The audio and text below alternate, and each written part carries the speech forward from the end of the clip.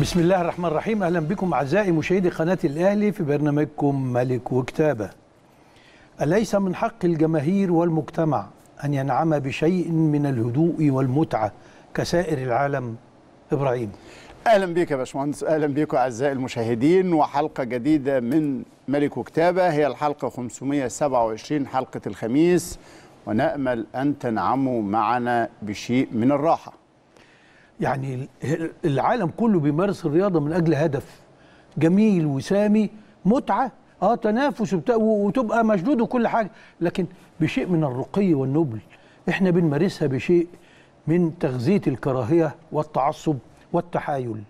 التحايل الذي أصبح مدرسة ما إحناش عارفين تأثيرها على الجيل القادم هيكون عامل إزاي. نتمنى نتمنى حلقة النهارده تستكشف معاكم الكثير من هذه الجوانب.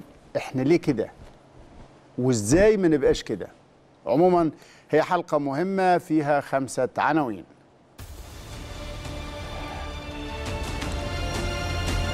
ودائما في الخير يا أهلي.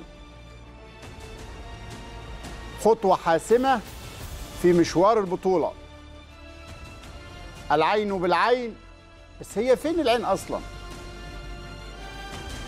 شفت إزاي الاهلي بيكسب بالحكام؟ وأخيرا مفاجأة الأهلي ليس بطلا للدوري.